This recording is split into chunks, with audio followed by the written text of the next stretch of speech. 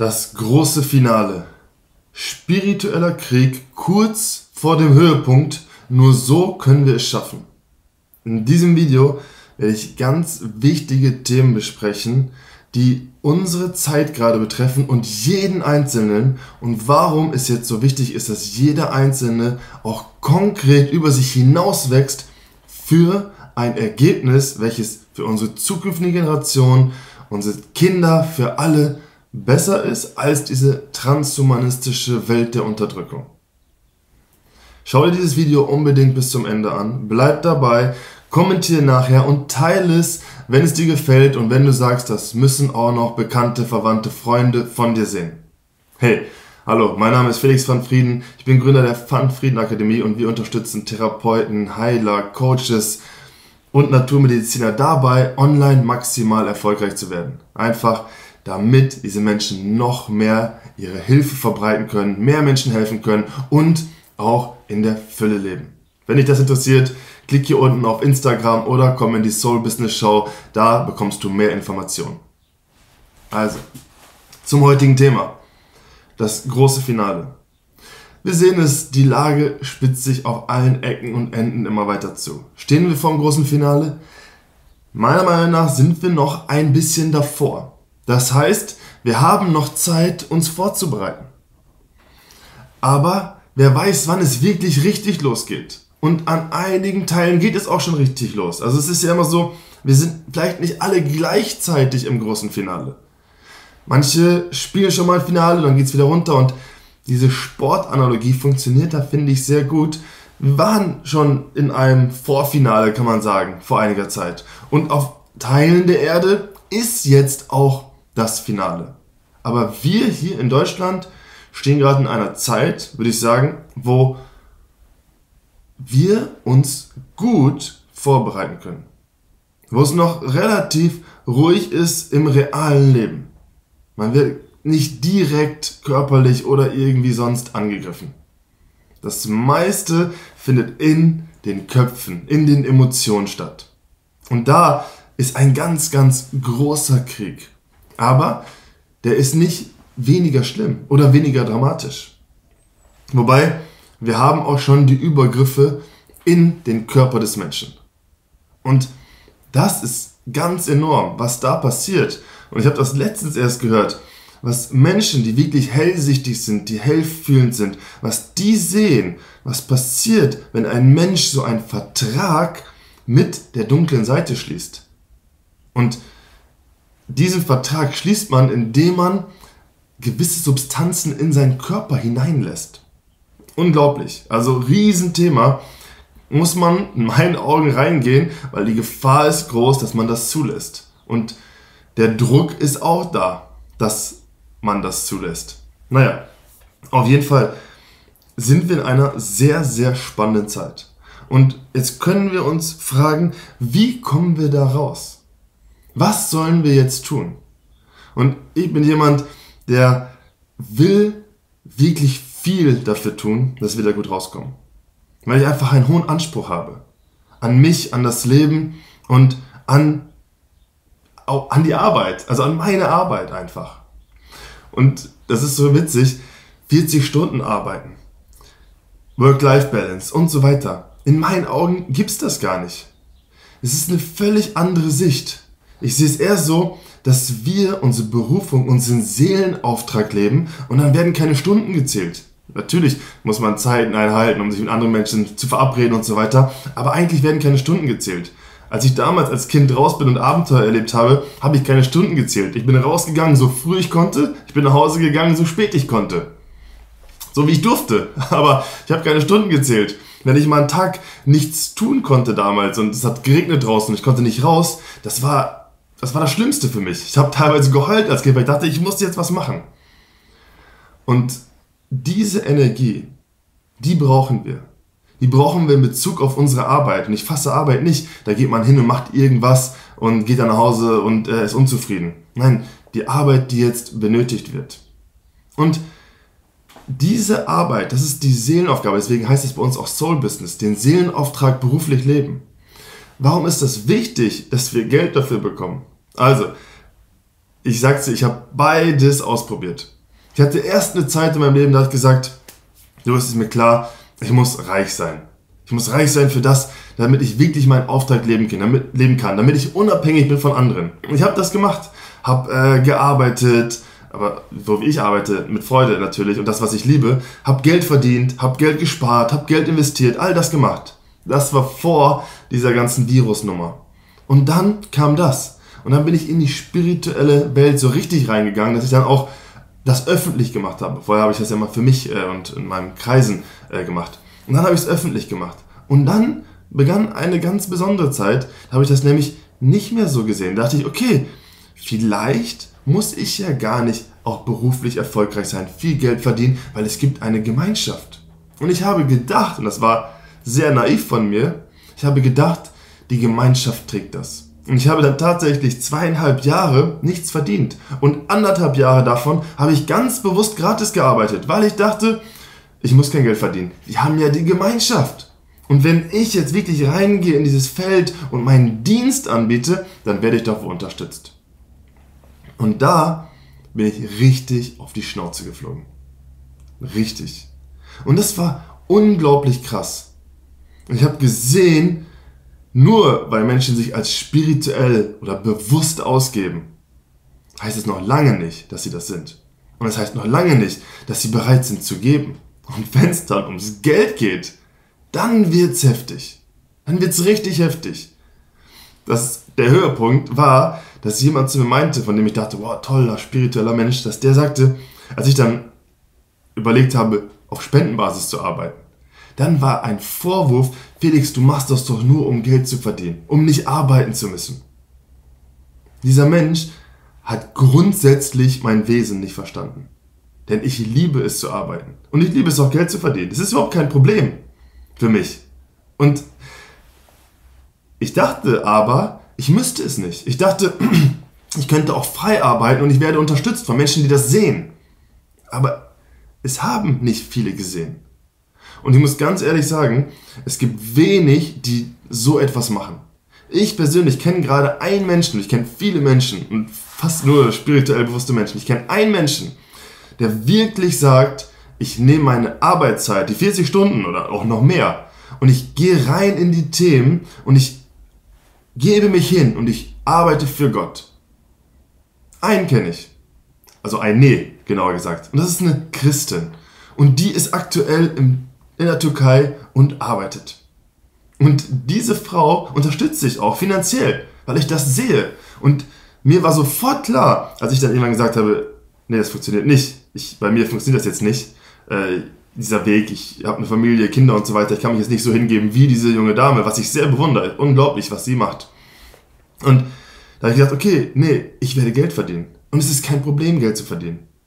Und was ich da gemacht habe, ist natürlich zu sagen, ich werde die Menschen, wenn ich sehe, da ist einer wirklich in der Hingabe, dann werde ich die finanziell unterstützen. Ist doch logisch. Und ich war dankbar, als die Frau mich gefragt hat, Felix, kannst du mich finanziell unterstützen? Weil ich habe natürlich was gesucht. Und ich bin so der Meinung, entweder haben wir Geld, dann unterstützen wir irgendwen, der sich so hingibt für die Sache, oder wir machen diese Arbeit. Natürlich oder auch beides. Ne? Im Idealfall kombinieren wir das. Aber es braucht manche Menschen, und es sind nicht viele, weil das ist eine sehr, sehr große Aufgabe, die wirklich reingehen und nicht für Geld arbeiten. Aber das ist heftig. Und die werden unterstützt. Aber auch die müssen unterstützt werden. Die unterstützt man dann mit Spenden. Das braucht es, da bin ich sicher. Aber für fast alle trifft das nicht zu, weil fast alle haben dieses Stadium nicht erreicht oder es ist gar nicht vorgesehen in dem Leben gerade. Und deswegen habe ich dann gedacht, okay, es gibt diesen einen Weg, das ist der der Gemeinschaft. Und dann gibt es diesen anderen Weg, das ist der der individuellen Entwicklung. Dass jeder für sich schaut, was kann ich geben. Und ich habe beide Wege extrem ausprobiert über einen längeren Zeitraum. Mehr als immer beide so anderthalb bis zwei Jahre. Und dann habe ich gesehen, ich für mich muss das kombinieren. Weil das funktioniert so nicht. Und ich weiß nicht, wie extrem du drauf bist. Ich gebe dir ein Bild, damit du weißt, wie gehe ich an das Thema Arbeit ran. Vielleicht kennst du Phil Jackson, Michael Jordan und Dennis Rodman und die Chicago Bulls. Wenn nicht, äh, ich gebe dir einen kurzen Überblick, was die geleistet haben. Und das kann dich vielleicht inspirieren. Lass dich darauf ein. Phil Jackson war der Trainer von Michael Jordan und Dennis Rodman. Und die haben drei Jahre in Folge die NBA gewonnen. Ich bin eigentlich gar kein Basketballfan, aber was die gemacht haben, was für eine Energie die reingebracht haben, ist immens. Und die haben es geschafft, mit einem Verein, der gar nicht so, ähm, gar nicht so gut war vorher, drei Jahre in Folge die NBA zu gewinnen. Dann ist Michael Jordan ausgetreten für ein Jahr, dann ist er wieder reingegangen in den Verein und das Jahr danach haben die nochmal dreimal in Folge die NBA gewonnen. Das ist unglaublich. Und das ist eine Leistung, an der ich mich orientiere. Davon bin ich beeindruckt. Und das ist einfach ein Spiel, wo ich denke, wow, so will ich spielen. Und Klar will ich gewinnen, aber nicht um des Gewinnens willen, sondern, und das hat Phil Jackson, der Trainer, so schön gesagt, und das ist, das ist sofort bei mir reingegangen, das war 100% Resonanz. Er meinte, manche spielen einfach nur für die Trophäe oder nachher um im Fernsehen zu sein oder so, aber ich mache das für die Energie. Weil ich einfach diesen Moment, wenn diese Männer auf dem Feld sich 100% committen, 100% im Fokus sind und alle für eine Sache arbeiten, weil ich diesen Moment so sehr liebe und weil das ein Energiefeld aufmacht, dem man sich nicht entziehen kann. Und das fand dieser Trainer so grandios. Und genau das unterschreibe ich. Das ist, was ich sehe, was möglich ist, wenn ganz viele Menschen einerseits an sich arbeiten, sich entwickeln und dann nochmal als Team gemeinsam für eine Sache eintreten. Michael Jordan hat trainiert wie verrückt. Dennis Rodman hat trainiert wie verrückt. Und dann sind die als Team zusammengekommen und haben für eine Sache gearbeitet. Und das ist ein Bild, so können wir das jetzt gerade sehen. Jeder arbeitet für sich. Jeder macht seine Sachen, entwickelt sich. Und was ist da so wichtig? Was lernen wir von Michael Jordan, Dennis Rodman, die hatten einen Coach. Die hatten Phil Jackson als Coach. Es hätte ohne Phil Jackson nicht funktioniert. Michael Jordan war davor, sagt man, gar kein so herausragender Basketballer. Äh, Basketballer, Basketballer, also Basketballspieler. Aber als er dann den Coach hatte und als er wirklich selber gesagt hat, okay, ich mache das jetzt, ich setze das um, ich trainiere, ich gebe mein Bestes, da ist er herausragend geworden. Und dieses Prinzip dürfen wir übernehmen. Dass wir uns jemanden suchen, von dem wir lernen, individuell. Und ich sehe auch, da gibt es manchmal so spirituelle Communities, da gibt es dann Guru und so weiter. Und ein, einer, ein Guru macht für alle, löst für alle irgendwie alle Probleme. Scheint so. Aber ich habe gesehen, das funktioniert nicht. Es funktioniert auf einer Ebene, aber nicht im Detail. Und jetzt ist wirklich Detailarbeit gefragt. Was heißt Detailarbeit? Dass wir individuell schauen, was ist unsere größte Stärke und die dürfen wir jetzt entwickeln. Und da dürfen wir uns Unterstützung für holen. Und was ist unsere größte Schwäche oder der Punkt, der uns enorm zurückhält? Und den dürfen wir auch auflösen. Und auch da dürfen wir uns Hilfe holen. Ein Coach, ein Trainer, ein Heiler, ein Berater, ein äh, Mediziner, was auch immer, was auch immer das für Punkte sind. Und wir haben einfach fünf sehr wichtige Lebensbereiche. Gesundheit, Beziehung, Beruf, Berufung, Finanzen und emotionales, spirituelles. Und lasst uns da reingehen. Jeder. Sei es dir wert, dass du in dich investierst. Dass du zu Menschen gehst, die das Problem, was du hast, schon gelöst haben, die dir helfen können. Wachse über dich hinaus. Das ist ein Punkt und der ist so, so wichtig. In meinen Augen ist der essentiell für die jetzige Zeit. Und nur so können wir da durchgehen. Wenn jeder sich selbst wichtig genug nimmt und sagt, ich investiere auch in mich und ich gebe auch Geld dafür aus. Geld. So viele Menschen hängen so sehr am Geld. Geld ist dann ein Problem, wenn man zu wenig hat. Wirklich, wenn du zu wenig Geld hast und wenn du irgendwie mitarbeiten willst und wenn du nicht bist wie diese Dame, die ich gerade beschrieben habe, wenn du nicht alles für die Sache gibst, dann verdien einfach das Geld. Verdien es einfach. Es ist kein Problem. Als ich damals auf dem Bau war, 40 Stunden gearbeitet habe, ich habe jeden Abend weitergemacht, habe ich meine Musik gemacht, da ging die Arbeit erst los. Am Wochenende habe ich meine Musik gemacht, da ging die Arbeit erst los. Diese 40-Stunden-Rechnung, die ist Quatsch. Was wollen wir denn tun? Lasst uns wirken. Lasst uns wirksame Handlungen vollziehen. Lasst uns an uns arbeiten. Lasst uns doch mal denken, wow, Wir sind hier gerade kurz vor so einem Finale, so ein NBA-Finale. Drei Jahre in Folge, eine Höchstleistung aufs, aufs Parkett bringen. Das ist doch spannend. Und das ist nicht so, und das ist wirklich krass, dass man sich dann auslaugt. Wenn man genügend zurückbekommt, wenn man sich natürlich auch seine Auszeit nimmt und so weiter. Die Muskeln wachsen, wenn man sich überanstrengt, wenn man dann Pausen hat. Aber dass wir einen Schritt weitergehen. Ich sage das, weil ich das so häufig sehe, dass das nicht gemacht wird. Erst letztens hatte ich das Gespräch mit einem. Ja, ich will gar nicht erfolgreich sein, ich will ja auch dies nicht. Und wie sollen wir mit so einer weichen, fluffigen Kraftaussage irgendwas Glorreiches erreichen? Und es gibt Wörter wie Erfolg und so weiter, Gewinn. Und ich weiß auch, dass viele allein das Wort schon triggert. Warum? Womit verbindest du das? Löst das für dich auf. Dreh das doch einfach um. Geld, Erfolg, Reichtum, Freude, Fülle. Freude kann man halt rausnehmen aus. Aber es sind alles gute Sachen. Ich meine, Freude ist klar, das wird jetzt keiner äh, irgendwie komisch assoziieren. Also, aber die Worte, dreh die für dich um. Mach die so, dass die stark sind, dass du da willst, dass du etwas machen willst. Und was brauchst du für dich? Was ist dein Warum, um dich zu motivieren? Vielleicht brauchst du was anderes. Und kein, kein Erfolg, das Wort brauchst du vielleicht nicht. Vielleicht brauchst du ein anderes Wort oder vielleicht brauchst du eine andere Idee, dass wir jetzt hier gemeinsam für etwas Grandioses arbeiten. Vielleicht ist dein Warum die Zukunft des Planeten, die Zukunft deiner Kinder. Ganz egal, was es ist. Such dir irgendetwas aus, was dich motiviert, über dich hinauszuwachsen. Das ist eine Sache. Und dann haben wir auch noch die andere Sache der Gemeinschaft, dass wir schauen, wie können wir jetzt gemeinsam die ganze Sache angehen. Und das ist auch ein Punkt, der unglaublich wichtig ist und den sollten wir nutzen. Wir sollten schauen, wo können wir kooperieren. Und da haben wir verschiedene Ebenen. Und auch haben wir da die finanzielle Ebene. Lasst uns das aussehen. Viele sehen sich so separiert. Und dann eine Geldtransaktion kann auch gut sein für beide. Das einfach mal in sich aufzunehmen, kann schon so viel verändern. Wenn man viel Geld hat, warum haben so viele Menschen Angst vor viel Geld? Dann kann man so tolle Sachen unterstützen. Es kann ein eigener wirtschaftlicher Kreislauf entstehen, wenn viele bewusste und spirituelle Menschen viel Geld haben.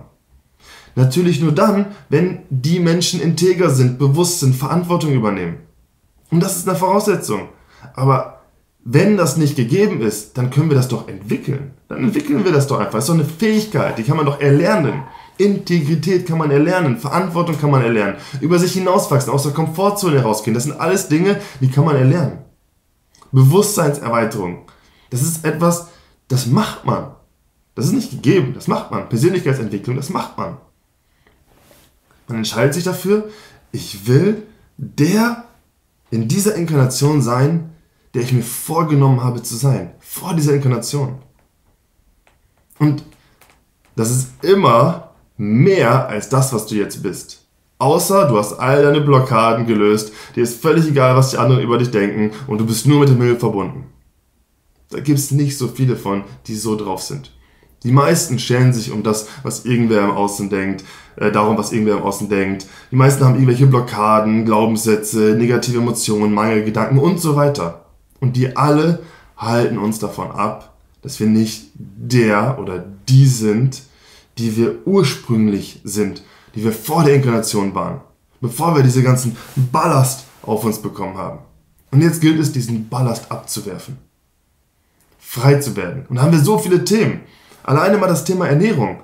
Wie viel Ballast kommt durch die Ernährung nochmal zusätzlich obendrauf? Wie viel Schlacken werden gebildet und so weiter. Das heißt, es ist wichtig für jeden von uns, die Ernährung zu sich anzuschauen und ganz bewusst zu schauen, was nimmst du zu dir. für jeden Sportler ist das wichtig und für uns alle jetzt auch. Weil wir sind in einer herausfordernden Zeit. Und es kommt auf jeden Einzelnen an. Und es ist so bedeutend, wie du mit dir umgehst und wie du mit allen anderen umgehst. Also,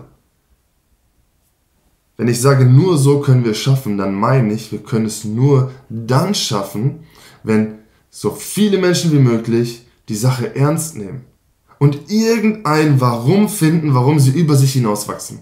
Finde für dich irgendein Warum. Was ist es? Warum ist es jetzt wichtig für dich, dass du über dich hinauswächst, dass du mehr gibst, als du würdest, wenn du das Warum nicht hättest? Manche sind motiviert von Geld, manche von Reichtum, manche von Erfolg. Manche sagen, oh nee, das will ich alles gar nicht, das will ich abschneiden.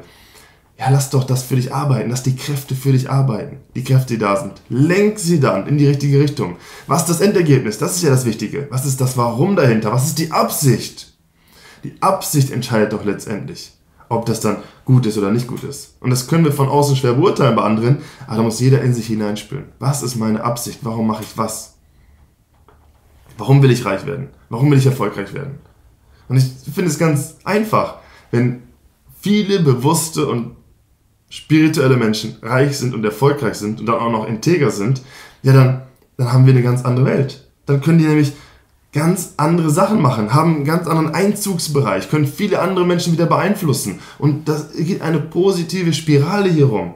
Und alles wird verwandelt. Da haben wir neue Vorbilder. Was haben wir jetzt für Vorbilder? Was haben die Jugendlichen für Vorbilder? Irgendwelche Rapper, irgendwelche Schauspieler, irgendwelche Sportler, das sind noch gute Vorbilder teilweise, weil die wirklich äh, an Start sind. Aber das ist auch nicht etwas, was wirklich transformiert. Und dann, wenn wir das machen, jeder auf sich selbst einmal schaut, bereit ist, in sich zu investieren, äh, zu jemandem zu gehen, Hilfe anzunehmen, so wichtig, Hilfe anzunehmen, nicht immer alles wissen wollen, Natürlich, in einem Bereich weißt du vielleicht richtig viel, aber das heißt doch nicht, dass du perfekt alles immer durchdrungen hast. Beratungsresistenz, was bringt das? Wenn jeder immer alle Fehler, Fehler selber machen muss, und ich bin einer, der hat viele Fehler selber gemacht, weil ich auch, wenn ich mich äh, zurück erinnere an mein Leben bisher, denke, mein Gott, Felix, hättest du eigentlich nicht machen müssen. Wenn du schlau gewesen wärst, schlauer als du damals warst, hättest du schauen können, was andere gemacht haben und hättest daraus lernen können, hättest nicht selber auf die Schnauze fallen müssen. Wie häufig muss jeder auf die Schnauze fallen, bis er lernt? Oder lernen wir einfach aus der Geschichte oder lernen wir von anderen? Das ist, was wahre Intelligenz ausmacht, in meinen Augen. Dass wir von anderen lernen. Und dann, dass wir dieses kollektive Feld stärken und schauen, wo können wir zusammenarbeiten. Und diese Zusammenarbeit ist wichtig. Dass man dann sagt, cool, ich habe hier was, dann kann ich auch wieder was geben. Wem unterstützen wir? Wem geben wir unser Geld, unsere Energie, unsere Aufmerksamkeit, unsere Liebe? gibt einen schönen Spruch, ich liebe alle Lebewesen. Wir können allen auf einer gewissen Art und Weise Liebe geben. Aber wo geht unsere ganz klare Aufmerksamkeit hin und wie transformieren wir unser Leben und damit auch das Leben der Gesellschaft? Also, ich hoffe, ich konnte dir ein paar Impulse mitgeben, dich vielleicht ein bisschen inspirieren. Schreib es mir in die Kommentare, ich freue mich drauf. Und wenn du jetzt sagst, hey, ich will auch meinen Seelenauftrag hier auf der Erde leben und du willst irgendwie anderen Menschen helfen oder kannst schon anderen Menschen helfen oder tust es auch schon als Therapeut, Heiler, Naturmediziner oder Coach, dann komm gerne in die Soul Business Show, denn ich habe es mir jetzt zur Aufgabe gemacht und auch das ganze Team der Van Frieden Akademie, dass wir dir dabei helfen, dass du maximal erfolgreich wirst. Weil wir wissen, es macht einen großen Unterschied, wenn du erfolgreich wirst, weil du bist ein Multiplikator für Heilung, für Bewusstseinsentwicklung, für Persönlichkeitsentwicklung. Sind wir alle, aber die, die sich dazu entscheiden, das beruflich zu machen, ganz besonders. Und in meinen Augen haben wir nur zwei Möglichkeiten. Entweder wir machen das beruflich oder eigentlich und, die Möglichkeit ist für jeden da, wir arbeiten konstant an uns selber. Wir haben jetzt die Chance unseres Lebens. Es gibt für alle möglichen Bereiche Experten, wirklich Menschen, die ein Thema durchdrungen haben, von denen du jetzt lernen kannst. Und nimm diese Gelegenheiten wahr. Lern von diesen Menschen. Schau, was würdest du gerne bearbeiten? Was würdest du gerne lernen? Und wer kann dir dabei helfen? Und dann schau, hat derjenige ein Angebot? Wenn das gut ist, nimm das Angebot an. Wenn das zu viel kostet, verdien das Geld. Verdien es einfach. Es gehört dann zu dem Prozess dazu. Es gibt einen Mönch, das ist eine tolle Geschichte. Einer von meiner Coaches hat ein Seminar, das ist richtig teuer, 25.000 Euro für eine Woche oder so. Und dann war, hat sich ein Mönch beworben. Und dann hat er gesagt, ja, du, ich habe gar kein Geld, weil wir Mönche haben gar kein Geld. Und dann hat der Mönch gesagt, okay, dann gehe ich einfach zwei Jahre nacheinander den ganzen Sommer auf ein Schiffskutter und verdiene das Geld. Und hat er dann gemacht und dann war er bei dem Seminar. Warum nicht? Das alleine ist doch schon richtig stark. Also, Lass uns da reingehen und lass uns einfach mehr tun, als wir denken. Mehr im Sinne von, aus höherer Ebene wird auch mehr erwartet. Weil das, was uns zurückhält, das sind irgendwelche Verbindungen mit der Materie. Irgendwelche Glaubenssätze oder Gewohnheiten. Und die können geändert werden. Jeder Mensch kann Glaubenssätze, Gewohnheiten ändern, Blockaden lösen und neue Gewohnheiten erlernen, neue Glaubenssätze aufbauen und einfach sich selber verwandeln und transformieren. Diese Kraft haben wir alle. Ich wünsche dir alles Gute. Alles Liebe, dein Felix.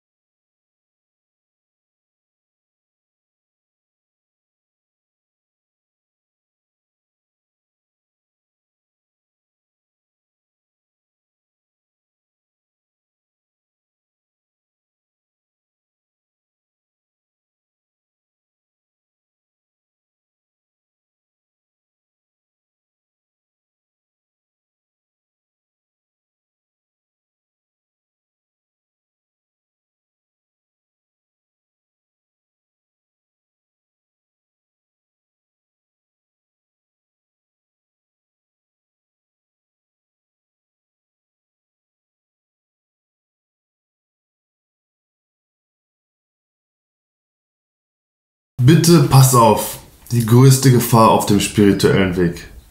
In diesem Video gehen wir auf dieses Thema ein. Es gibt viele Gefahren, was ist in meinen Augen die größte und wie kannst du dich davor schützen, dass dir das nicht passiert.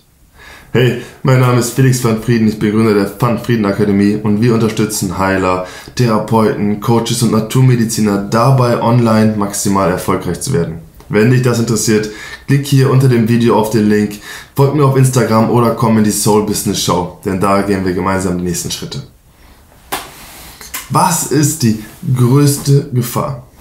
Es ist ja so, wir sind voller Begeisterung, voller Euphorie und dann sehen wir das Gute in den Menschen und denken, boah, alles wird bald anders und wir gehen in eine Gemeinschaft, treffen Leute und sind voller Euphorie und Begeisterung.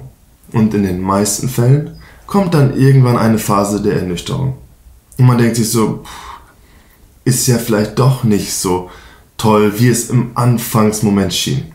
Und dann kommt eine Enttäuschung und vielleicht auch eine Verletzung. Und dann ist die Gefahr, dass wir die Begeisterung und die Euphorie verlieren und alles wieder kippt und wir wieder mehr das Negative, das Schlechte im Menschen und so weiter, dass wir das wieder mehr sehen. Was brauchen wir aber jetzt, um diese Welt neu zu gestalten? Wir brauchen eine Begeisterung und eine Euphorie. Jeden Tag aufs Neue. Was nicht heißen soll, dass man total naiv auf die Sachen zugeht oder alles äh, handhabt und neue Sachen startet. Aber je älter man ist und je mehr schwierige Erfahrungen man gemacht hat, desto schwieriger ist es auch auf der einen Seite, auf der einen, die, die Begeisterung und die Euphorie wieder hier auf die Materie zu bringen. Man hat einfach so viele Erfahrungen. Wenn man noch jung ist und frisch, und deswegen die Kinder sind jeden Tag wieder begeistert, jeden Tag wieder voller Euphorie. Und irgendwann, dann haufen sich, häufen sich diese negativen Erfahrungen. Und die haben häufig einen so großen Stellenwert. Die sind so bedeutend. Wir Menschen schauen ja in der Regel so eher auf das Negative. Und da hat das irgendwie einen Einfluss. Und jetzt ist es wichtig, dass wir das sehen und auch, dass wir verstehen, es gibt diesen Teil in jedem Menschen. Jeder Mensch hat alles in sich. Sowohl Sachen, die anderen Schaden zufügen, als auch Sachen, die anderen Freude und die Liebe bringen. Und nicht jeder kann das in jedem Moment bewusst steuern. Da kommt mal was raus, was einen verletzen kann. Vielleicht ist das gar nicht absichtlich gewesen. Vielleicht ist es einfach nur ein Programm, was lief. Gar nicht persönlich gemeint. Einfach nur ein Programm, eine Gewohnheit, zurückzuführen auf irgendein Glaubensmuster, irgendeine eigene Blockade, was auch immer. Und wenn wir das so sehen, dass da einfach Programme laufen, dann müssen wir die ganzen Sachen nicht persönlich nehmen. Und wir können aus einer übergeordneten Perspektive auf die Sache schauen und sehen, okay, wir sind gerade in einer Phase der Heilung. Und in dieser Phase der Heilung kommen viele Dinge ans Licht. Und viele Dinge werden zwangsläufig zu Enttäuschung führen. Weil man kann jetzt nicht mehr viel täuschen. Man kann nicht mehr viel spielen. Es kommt irgendwie hoch. Und dann kommen Enttäuschungen. Und trotz dieser ganzen Enttäuschung, trotz dieser ganzen Dinge, wieder ins Vertrauen gehen, wieder in die Begeisterung gehen, wieder in die Euphorie gehen. Denn die Alternative wäre die Isolation, die Abkapselung und dann vielleicht auch die Depression. Und ich sehe, dass das einigen Menschen passiert. Und ich kenne auch einige Menschen, die diesen Strudel hinabgleiten. Von denen ich das auch nie gedacht hätte. Aber es kann passieren. Und deswegen ist es so wichtig, da im Vorfeld schon darauf zu achten, dass man sich selber bei guter Laune hält. Und dass man nicht zu tief da reingeht, nicht zu tief, tief ins Misstrauen geht. Ja, jeder Mensch hat alle Seiten. Aber nur weil einer einmal irgendwas macht, heißt das nicht, dass der immer so ist. Jeder hat viele Facetten. Natürlich ist es schwierig, wenn Menschen total ignorant sind. Und ich verstehe das. Und ich kenne das auch. Und dann ist es noch schwieriger, mit Begeisterung und Euphorie weiterzuarbeiten, wenn solche Menschen im Umfeld sind. Und wenn man vielleicht gar nicht anders kann. Also man kommt da nicht raus aus dieser Nummer so leicht, weil die Menschen sind einfach da, in der Familie, im Beruf, äh, wo auch immer, in deiner Gemeinschaft, in deinem Umfeld und die stellen sich quer. Was ist jetzt wichtig zu tun? In meinen Augen zu schauen, was soll das Ergebnis sein? Was ist das ideale Ergebnis dieser Nummer? Wenn was passiert, kann Heilung eintreten. Und wenn wir das sehen und wissen, okay, das ist das Ergebnis und wir sind jetzt hier, was können wir dafür tun? Was kannst du dafür tun, dass das auf direktem Wege eintritt? Und wie können wir dafür sorgen, dass wir jemanden sind, jemand sind, der das nicht blockiert? Denn häufig werden gute Ergebnisse blockiert von irgendwelchen inneren Gefühlen. Und wie können wir diese Sachen freilegen, diese Blockaden freilegen, dass das Ergebnis eintreten kann? Und was braucht es? Es ist so unterschiedlich. Es braucht immer ganz äh, verschiedene Dinge. Aber wir sollten niemals die Begeisterung, die Euphorie verlieren. Und das ist auch wichtig, dass wir uns überlegen, warum machen wir das denn? Worum geht's hier? Was ist das große Bild?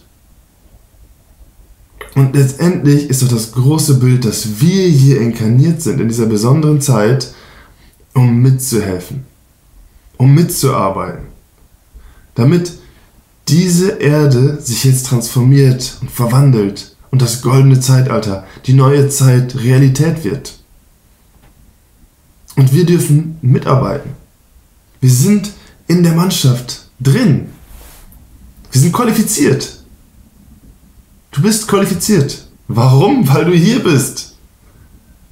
Die Nationalmannschaft, Mann, Mann, das ist jetzt hier eine Fliege, ey. Die Nationalmannschaft fährt zur WM. mit ein paar Menschen. Das sind die, die sagen, komm, wir gehen aufs Spielfeld.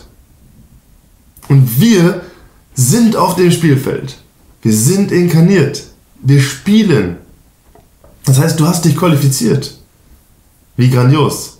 Alleine das schon ist. Alleine aus diesem Grund kannst du schon begeistert und euphorisch sein. Und jetzt schauen, okay, jetzt sind wir hier. Ja, was machen wir? Lassen wir uns jetzt von irgendwem, der uns davon abhalten will, unser Spiel zu spielen, beeindrucken? Gehen wir in die Ecke, gehen wir vom Platz? Gehst du vom Platz? Gehst du in die Ecke? Oder sagst du nein? Ich bin doch schon da. Ich bin doch jetzt schon in den Bus gestiegen, bin schon losgefahren und bin schon vor Ort. Ja, dann spiele ich doch auch. Mit voller Begeisterung, mit voller Euphorie, mit Teamgeist. Anstatt mich einsam und isoliert in die Ecke zu verkrümeln und beleidigt zu sein und nichts mit anderen zu tun haben zu wollen und nicht mit den anderen reden zu wollen. Vielleicht auch mal keinen Fehler eingestehen wollen. Ist auch so wichtig. Dass wir Fehler, wenn wir sie tun, eingestehen können. Weil die meisten können verzeihen. Wenn jemand ehrlich sagt, hey, da habe ich einen Fehler gemacht. Tut mir leid. Also, ich wünsche dir, dass du mit voller Euphorie und Begeisterung dabei bleibst, deine Arbeit machst, deinen Auftrag hier erfüllst und dann, dass wir hier gemeinsam ein ganz tolles Feld kreieren, ein tolles Energiefeld, welches es uns allen immer noch leichter macht, in diese Begeisterung, in diese Euphorie zu kommen. Und die uns motiviert, inspiriert, jeden Tag aufs Neue mit Freude an die Arbeit zu gehen. Und ich meine Arbeit, alles, was schöpferisch ist. Alles, was schöpferisch ist und was dazu beiträgt, dass sich diese Erde hier transformiert. Es kann innere Arbeit sein, dass wir irgendwas an uns machen. Das kann sein, dass wir mit anpacken, dass wir aufräumen, dass wir anderen Menschen helfen. Es gibt so viele Möglichkeiten. Also, alles Gute. Ich freue mich, wenn wir jetzt gemeinsam hier was Wundervolles kreieren. Und es kann nur besser werden. Wenn wir mit Begeisterung, Euphorie, idealerweise noch mit einem klaren Plan vorangehen. Aber es gibt ja schon einen großen Plan, aber dass jeder für sich auch schaut, okay, was ist, was ist mein Ding? Was ist meine Aufgabe, meine Gabe? Was kann ich konkret tun? Und wie kann ich das jeden Tag machen? Möglichst jeden Tag, natürlich, manchmal ruht man sich aus, aber das, was da wirklich raus will, das will doch einfach raus. Solltest du Therapeut, Heiler, Coach oder Naturmediziner sein und wirklich erfolgreich werden wollen, maximal erfolgreich werden wollen, online auch gerade, weil du siehst, online, das sind einfach die Möglichkeiten, die sind da und du siehst, du kannst den Menschen helfen, dann folgt mir unbedingt auf Instagram, komm in die Soul Business Show, denn wir sind jetzt dafür da, um dir zu helfen, dass du maximal erfolgreich wirst, mehr Menschen helfen kannst, in der Fülle lebst und frei bist von irgendwelchen Abhängigkeiten. Also, alles Gute, dein Felix.